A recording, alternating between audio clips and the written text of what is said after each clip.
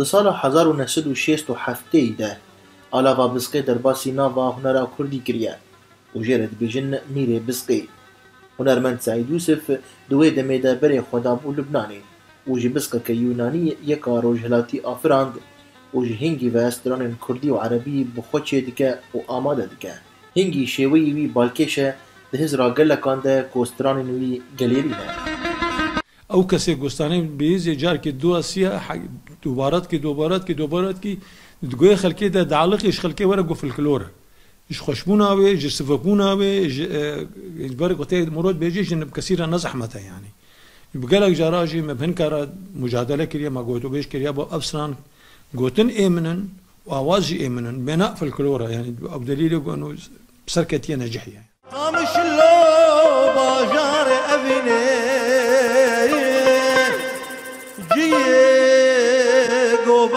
جبيني اقار تبي تمني بي حتى صالي فرتش ددلي ودمانا كو اوهينا بهيبيا وان فيه بنا سعيد يوسف موزيكي بقاوهكي أكاديمي تشدكا و بهور بيني نوتيان دنبيسا قالك تشتي ولو ذا بحسرتن. كو اسكاربة مثلا صد معزوفة مثلا تشوف كل ما نجي تشوف عربي ما أفر- آفران مشي كذا اتخوازا ما معزوفة تشاب بكم بكم كتاب سوكي بلا بكم. يان ابسراني قوم قوتنا كان بيجم والله چند نابينا 600 و 700 يبركم قوتيه حموت افرانيه من قوتني منن وش اوازي منن. متخص از تبا نوكا دوباره بكم بالاستوديو ده بدنكي خوشتر.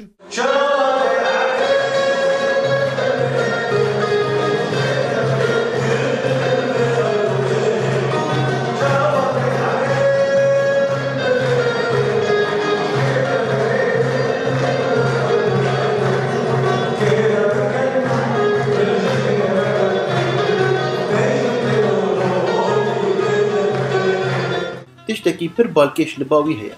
Ew dikare ji bûyereke biçûk stranekê yan lawpekî çê bike.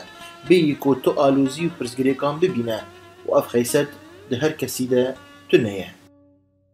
اسكان راجل طنبوري لاوك كي راسا بيجم او لاوك حياتهم ده نم ليت فكريمه ننا بيل بيرامنا ونزان مزي تش بيجم يعني لي ازي بيجم ودرك بس لاوك خوش وباقش ما نصر اسكاربم شبكه تمام دريش بكم حتى صبي از سنانا بردوام بكم أو سان هم نقوتي واز نظام زي تش بيجم لي روجاريو بيسان وجي خو بقريت كاسي ديتا يان سيدي دا يان يان ماش تاريخي واسكارم حتى ما هكي ولو بك Têzanîn koberiya demekê hunermend Saîd Yûsif xelata dan û afirandinê ya dizgeha arta bi konser û beşdariyeke mezin wergirt.